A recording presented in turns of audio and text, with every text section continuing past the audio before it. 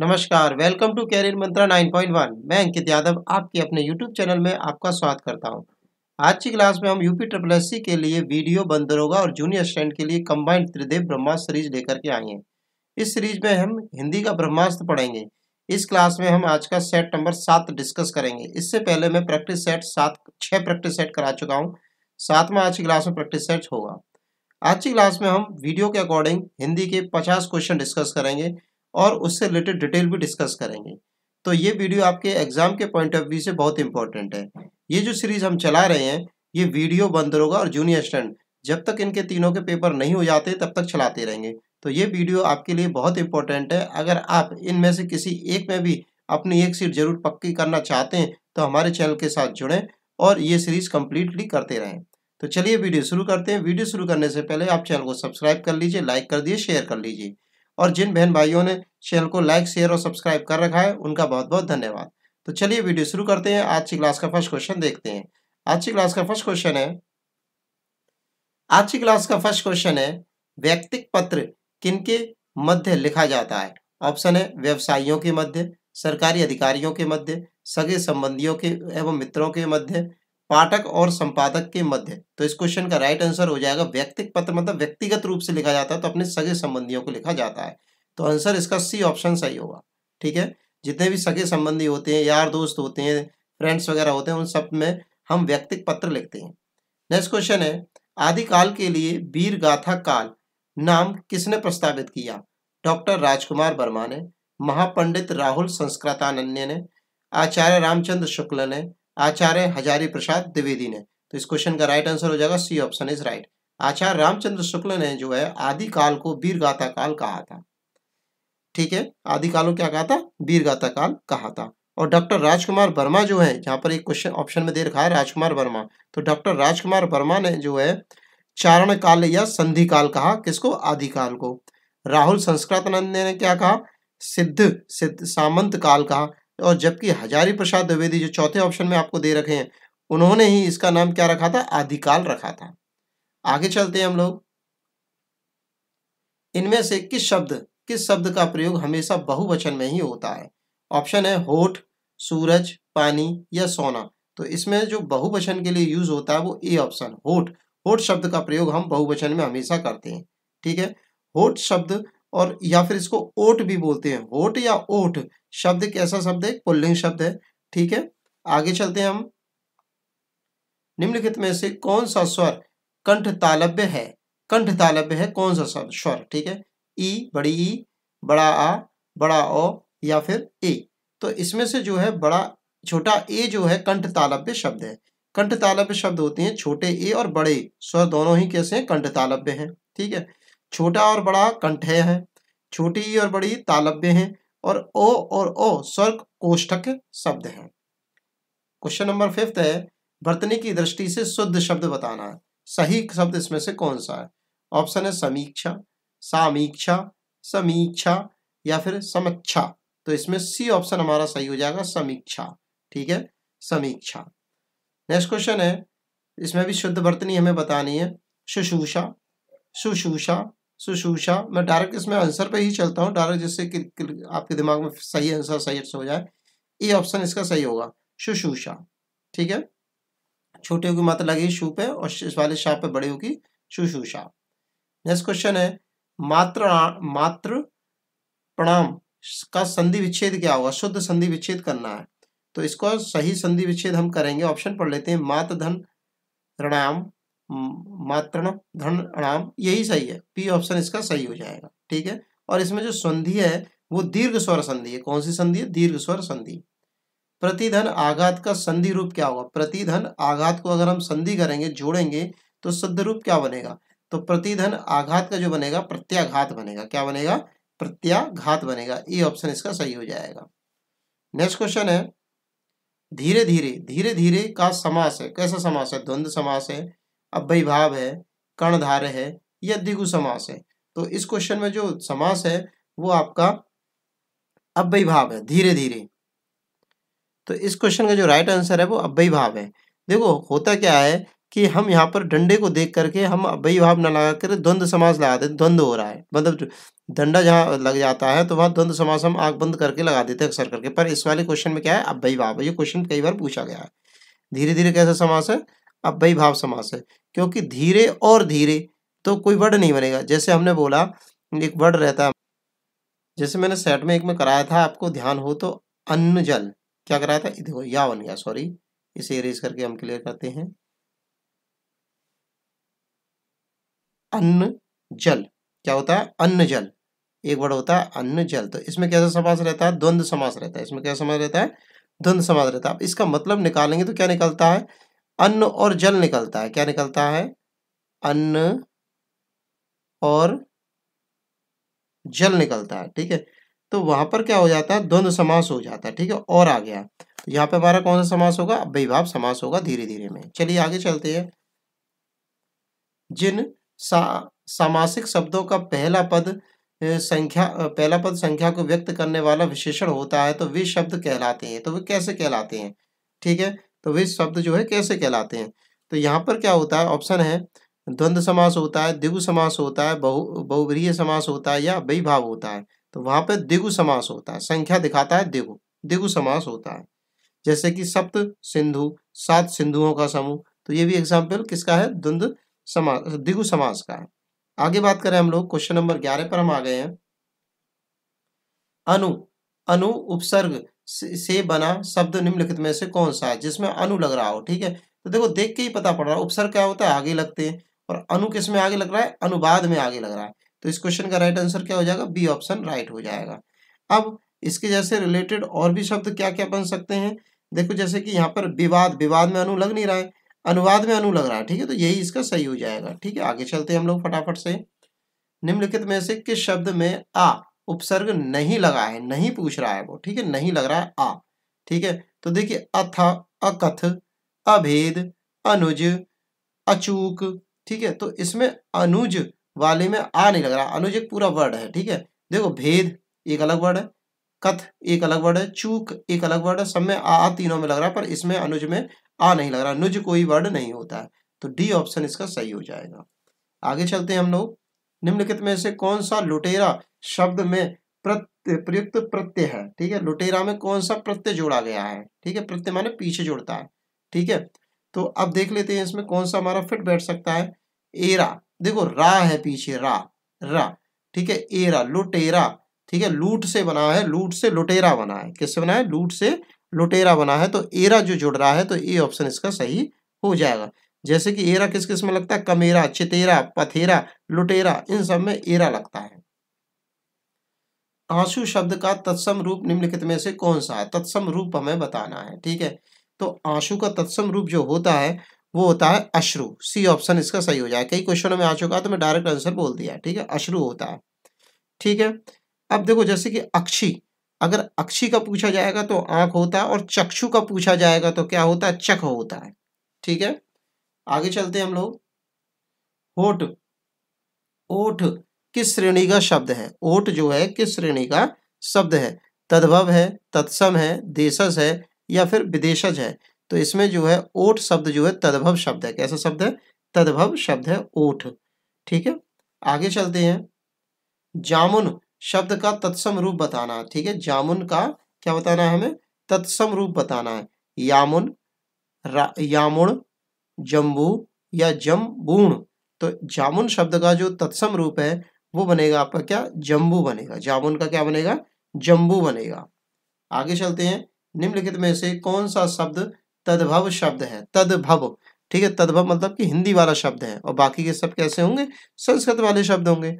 ठीक है तो पंख, पष्ठ, लज्जा या शिला। तो पंख शब्द जो है तद्भव वाला शब्द है। पंख शब्द कैसा है? तद्भव वाला शब्द है। अब बात आती है, इसका तत्सम जो रूप बनता है, पंख का तत्सम जो बनता है, वो पक्ष बनता है। क्या बनता है? पक्ष बनता है। क्या बनता है? पक्ष बनता है। अब बात आती है और शब्दों की तो जो पष्ट है, पष्ट कैसा शब्द है आपका? तत्सम शब्द तो पष्ट का क्या बनेगा? पीठ बनेगा। क्या बनेगा? पीठ बनेगा। ठीक है? और लज्जा जो शब्द है, लज्जा शब्द का क्या बनेगा? लाज बनेगा। क्या बनेगा? लाज बनेगा। आगे चलते हम लोग। घर, पहाड़ नदी, किस संज्ञा भेद के अंतर्गत आएँगे? ठीक है? द्रव्यवाचक हैं, जातिवाचक हैं, भाववाचक हैं या फिर गुणवाचक हैं। ठीक है? तो ये सभी शब्द जो हैं, आपके जातिवाचक शब्द हैं। ठीक है? घर, पहाड़, नदी। ठीक है? तो ये सब कैसे शब्द हैं? जातिवाचक शब्द हैं। आगे चलते हैं हम लोग। उन्नीसवा क्वेश्चन है, निम्नलिखित में से कौन सा शब्द द्रव्यवाचक संज्ञा है? द्रव्यवाचक संज्ञा बतानी है, खटाई, मिठाई, दूध या फिर ठंड। तो इसमें जो है द्रव्यवाचक संज्ञा आपकी बनेगी, दूध बनेगा, ठीक है? लिक्विड फॉर्म है सारी तो दूध होती है, ठीक है? दूध दूध, आपका पानी हुआ, ये लिक्विड वाली चीज़ें होंगी, तेल हुआ, वो सब किसमें जाएँगे? द्रव्यवाचक संज्ञा में जाएँगे, ठीक है? निम्नलिखित में से कौन सा विशेषण संज्ञा में नहीं नहीं बना है? संज्ञा विशेषण जो है संज्ञा से नहीं बना है। श्रीमान, दानी, सुंदर, चमकीला तो इस क्वेश्चन का जो राइट आंसर हो जाएगा सुंदर। सुंदर जो है आपका संज्ञा शब्द से नहीं बना है। ठीक है? और बाकी सब बने हैं। ठीक है? बाकी सब आपके शब्द किससे बने हैं? आपके संज्ञा शब्द से बने हैं। ठीक है? जैसे कि श्रीमान शब्द श्री से बना है। किससे बना है? श्री से बना है। दानी शब्द दान से बना है। चमकीला शब्द चमक से बना है। नेक्स्ट क्वेश्चन है हमारा। क्वेश्चन नंबर ट्वेंटी वन पर आ गए हम लोग। निम्नलिखित में निम्नलिखित वाक्यों में से एक में सकर्मक क्रिया का प्रयोग हुआ, किसमें हुआ है? मैं चला। वह नहाता है, लड़का सो रहा है, लड़की सिल रही है। अब क्या कह रहा है वो? सकर्मक, कर्म के साथ वाली क्रिया। ठीक है तो इसमें क्या हो जाएगा? लड़की सिल रही है। क्या कर रही है? लड़की सिल रही है। आगे बात कर रहे हैं। रात भर रात भर जागना स्वास्थ्य के लिए अच्छा नहीं है। रेखांकित शब्द को पहचाने। तो ये जो भर शब्द दिया है, इसको पहचानना में ये क्या चीज़ है? ऑप्शन है, संबंध सूचक अपव्यय, विशेषण, भाववाचक संज्ञा समुच्चय बोधक अव्यय देखिए, एक बात हमेशा याद रखना कि अगर जब आपको कुछ भी समझ में ना आए तो आप ये देखिए कि क्या नहीं हो सकता। ये मत सोचिए कि क्या आंसर होगा, आप ये सोचिए क्या नहीं हो सकता। तो इससे क्या हुआ कि आपके कम से कम दो ऑप्शन ज़रूर हट जाएँगे और दो में आपको आंसर लगाना ज़्यादा आसानी रहती है, ठीक है? चलिए, अब देखते हैं इसके ऑप्शन क्या क्या हो सकते देखो, क्या भर जो है विशेषण है? नहीं है तो इसको हटाओ पहले तो। अब भर जो है, क्या भाववाचक संज्ञा दिख रही है? वो भी नहीं दिख रही है। हटाओ इसे। अब बात करते हैं, संबंध सूचक अपव्यय है या समुच्चय बोधक अपव्यय है, ठीक है? तो भर शब्द से क्या संबंध दिख रहा है या समुच्चय का बोध हो रहा है? तो रात भर जागना तो यहाँ से संबंध का बात आ रही है। रात और जागने के बीच में संबंध दिखा रहा है भर शब्द। तो संबंध बोचक, संबंध सूचक अपव्यय ये बन जाएगा आपका। आगे चलते हैं, क्वेश्चन नंबर ट्वेंटी थ्री है। अरविंद शब्द का पर्यावाची शब्द बताइए।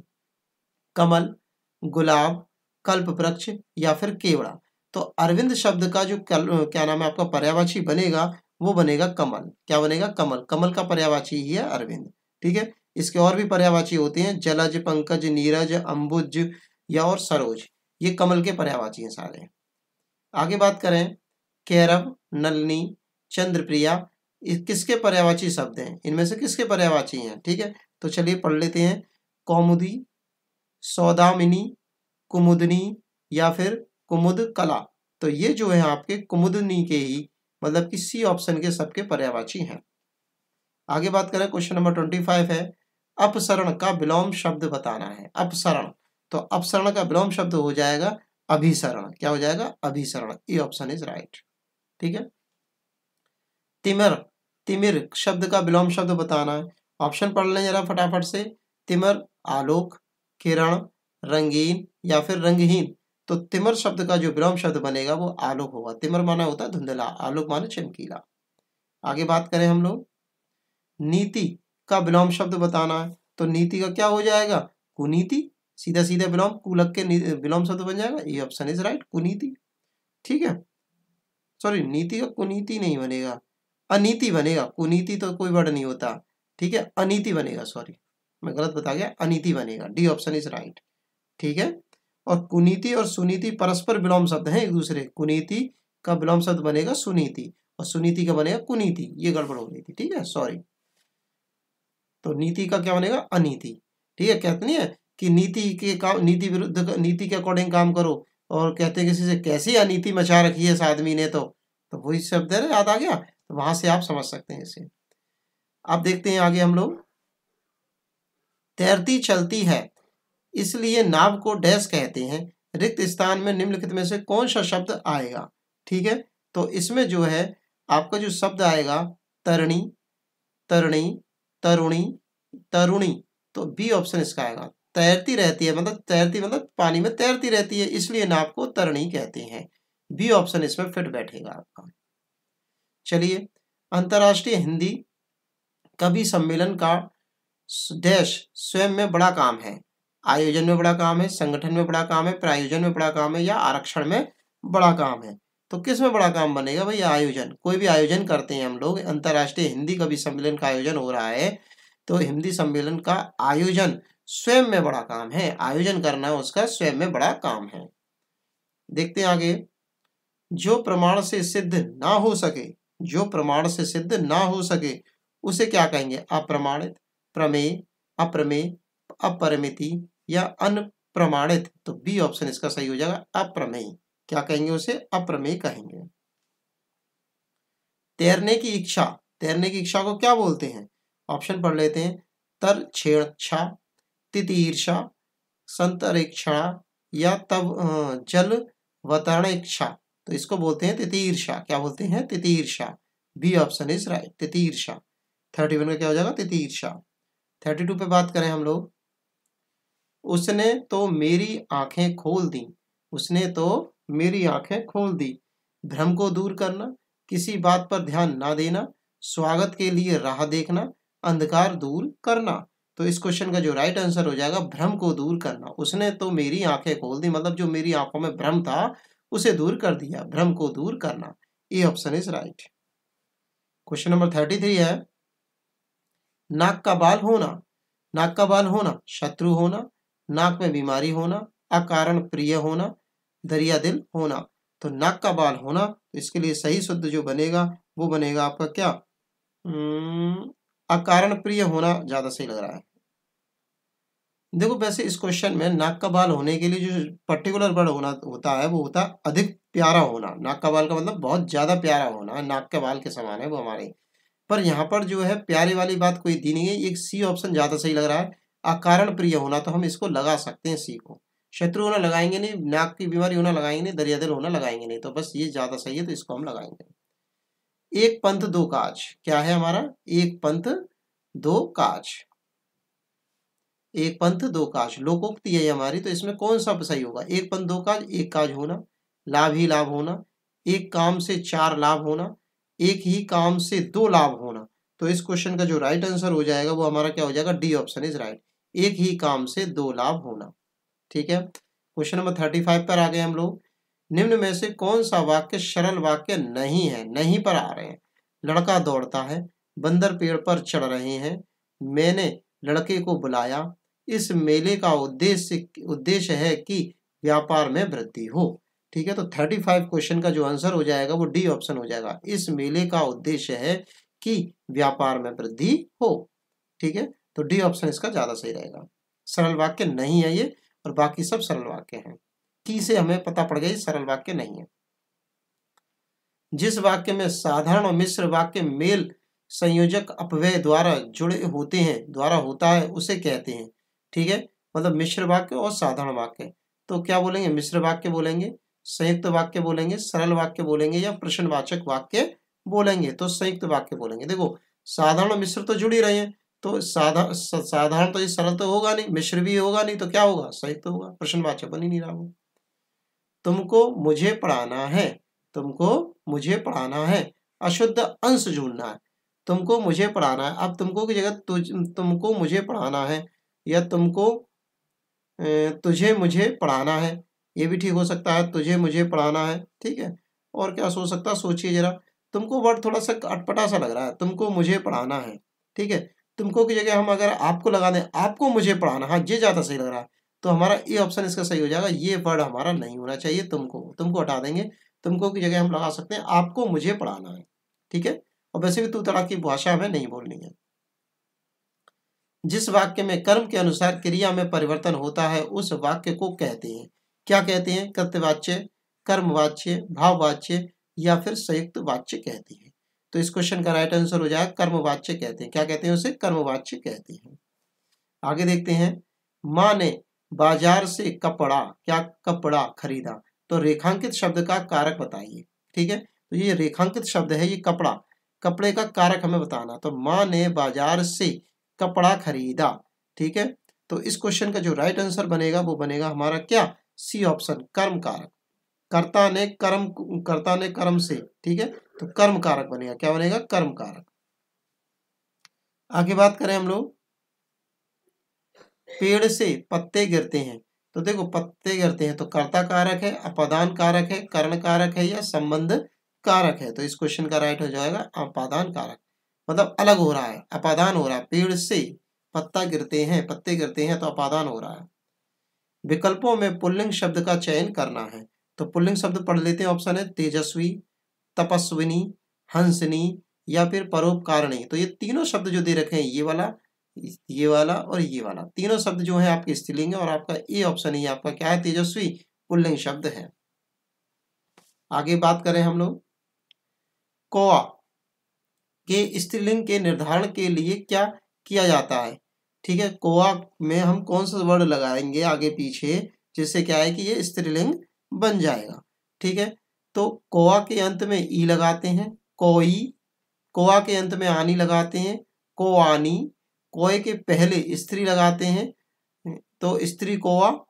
कोए के पहले मादा लगाते हैं तो मादा कोआ। तो ये ज़्यादा सही है, डी ऑप्शन इज़ राइट। ठीक है? D option is right. मादा कोआ बोलेंगे तो वो स्त्रीलिंग बन जाएगा। ठीक है? कौन सा वाक्य आसन्न भूतकाल में है?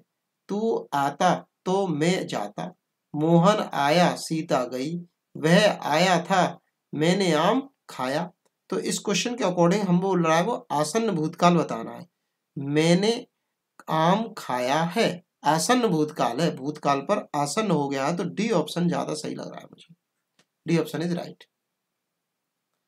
सरकार ने अंशतः प्रतिभूति प्रतिपूर्ति की है। सरकार ने अंशतः प्रतिपूर्ति की है। इस वाक्य में किस प्रकार का क्रिया विशेषण का प्रयोग किया गया है? रीतिवाचक, कालवाचक, परिमाणवाचक या फिर स्थानवाचक? तो इसमें जो है परिमाणवाचक का क्रिया विशेषण का प्रयोग किया गया है। सरकार ने अंशतः मतलब जो जितना था, जो अंश था, वो पूरा अंशतः प्रतिभूति की है। तो, तो परिमाण बताया जा रहा है वज़न बताया जा रहा है। अब देखिए हमने क्वेश्चन 44 कर लिए बस मात्र छह क्वेश्चन रह गए हैं। तो आपको मैं याद दिला दूँ और आपका बहुत बहुत धन्यवाद। कह दूँ कि आपने हमारे चैनल को सब्सक्राइब कर दिया लाइक कर दिया और शेयर कर दिया। बस कमेंट बॉक्स में कमेंट करना रह गया होगा तो आप कमेंट बॉक्स में कमेंट भी कर दीजिए। जो बहन भाई करना ये सब भूल गए हैं सब्सक्राइब लाइक शेयर तो वो प्लीज़ लाइक शेयर सब्सक्राइब कर दीजिए और कमेंट बॉक्स में कमेंट भी कर दीजिए। तो चलिए आगे चलते हैं क्वेश्चन आगे भी देखते हैं। बहुत इंपॉर्टेंट क्वेश्चन मैं करा रहा हूँ। चलिए मैं सोचता हूँ आप सब्सक्राइब कर चुके होंगे तो चलिए आगे देखते हैं। निम्न वर्तनी में की दृष्टि से अशुद्ध अशुद्ध शब्द, अशुद्ध बताना है हमें, ठीक है? तो ऑप्शन पढ़ लेते हैं। अनुषंगिक, आध्यात्मिक ऐतिहासिक या फिर दायित्व। तो इसमें जो है ऐतिहासिक शब्द जो है, ये आपका गलत है। इसको हम कैसे लिखेंगे? ऐतिहासिक। कैसे लिखेंगे? ऐतिहासिक ऐतिहासिक, ठीक है? ऐसे लिखेंगे इसको। कैसे लिखेंगे? ऐतिहासिक। आगे चले हम लोग। आधुनिक भारतीय भाषाओं का विकास किससे हुआ है? अपभ्रंश से हुआ है, अवधि से हुआ है, खड़ी बोली से हुआ है या फिर ब्रज भाषा से हुआ है? तो आधुनिक भारतीय भाषाओं का जो विकास हुआ है, वो अपभ्रंश से हुआ है। किससे हुआ है? अपभ्रंश से हुआ है। निम्नलिखित आधुनिक भाषाओं में से किसका संबंध अपभ्रंश की पैशाली बोली से है? बोली से है, अपभ्रंश की पैशाली बोली से है। राजस्थानी का, गुजराती का, पंजाबी का या फिर बंगाली का? तो इस क्वेश्चन का जो राइट आंसर बनेगा वो पंजाबी। पंजाबी भाषा का संबंध जो है अपभ्रंश की पैशाली बोली से है। अब आगे हैं एफिडेविट क्या है वर्ड एफिडेविट का हिंदी अनुवाद क्या बनेगा? ऑप्शन पढ़ लेते हैं। शपथ पत्र प्रस्ताव, समायोजन या फिर विवरण। तो आप शायद सभी जानते होंगे एफिडेविट देना शपथ पत्र देना। तो ए ऑप्शन इसका सही हो जाएगा। एफिडेविट का मतलब क्या होता है? शपथ पत्र देना। अब जैसे कि यहाँ पर और भी वर्ड दे रखे हैं। जैसे दे रखा है प्रस्ताव। प्रस्ताव का होता है रेजुलेशन ठीक है? और भी वर्ड दे रखे हैं। आपका जैसे कि है एडजस्टमेंट तो एडजस्टमेंट का वर्ड होता है समायोजन, ठीक है? समायोजन को क्या बोलेंगे हम? एडजस्टमेंट और आपका और भी शब्द है, जैसे कि विवरण। एक विवरण और रह गया तो विवरण शब्द का होता है डेस्क्रिप्शन सेकेंड लास्ट क्वेश्चन है हमारा। एज मेंशन दियरन का हिंदी अनुवाद होगा। ठीक है? एज मेंशन दियरन का हिंदी अनुवाद होगा। जैसा कि उसमें उल्लेख किया गया है यथोकथ विषय जैसा कि बताया जा चुका है। समेकित रिपोर्ट प्रस्तुत की जाए तो ये ऑप्शन इसका सही होगा। एज मेंशन देरन मतलब कि जैसा कि उसमें उल्लेख किया गया है, वही है, इस तरह से। आगे, और लास्ट क्वेश्चन है आज की क्लास का। शुद्ध शब्द चुनना है हमें, प्रतिनिधि प्रतिनिधि प्रतिनिधि और प्रतिनिधि तो बी ऑप्शन इसका सही हो जाएगा, प्रतिनिधि। सभी पे छोटी की मात्रा लगेगी, प्रतिनिधि पे, ठीक है? ऐसे याद रखेंगे आप लोग। तो हमने फिफ्टी क्वेश्चन कंप्लीट कर लिए हैं। आप लोगों का बहुत बहुत धन्यवाद। आपने चैनल को सब्सक्राइब किया, लाइक किया, शेयर किया। Thanks for watching video. Take care. Bye bye धन्यवाद।